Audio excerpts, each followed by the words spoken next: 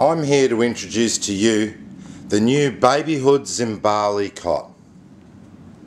The Babyhood Zimbali cot, like all of the Babyhood furniture range, are made from New Zealand clear grade pine.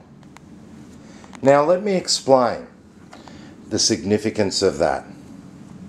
Most furniture in this industry is made from A grade New Zealand pine. The, the clear grade New Zealand pine is special. It's special because it's aged and therefore a harder pine and doesn't dent easily. On top of that, it doesn't warp over time. Other cots in the market just use the A grade pine. This Babyhood Zimbali cot also features their super quiet and easy to use mechanism are very easy to use and nice and quiet. So when putting baby to sleep and using the single hand drop side, you're not going to wake them up with a clunky mechanism. There's so many mechanisms out in the market are noisy and clunk and bang and they defeat the whole purpose, which is to keep baby asleep while you're transferring them in and out of the cot. We've currently got the mattress level at its lowest setting it's a height adjustable mattress. So you would naturally start for the first several months before baby can sit up in the higher level. And then that mattress will drop down. We're looking at the Zimbali cot in the espresso colour.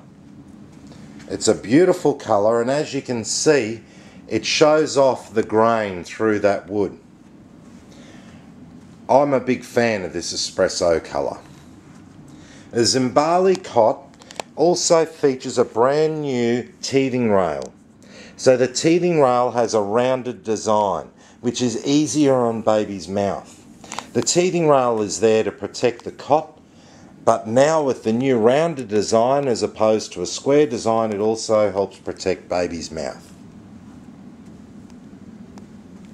The Zimbali cot comes with optional casters that are lockable so if you do need to move it around, depending on your situation, you can and you can do it easily. The Zimbali cot has a matching change table.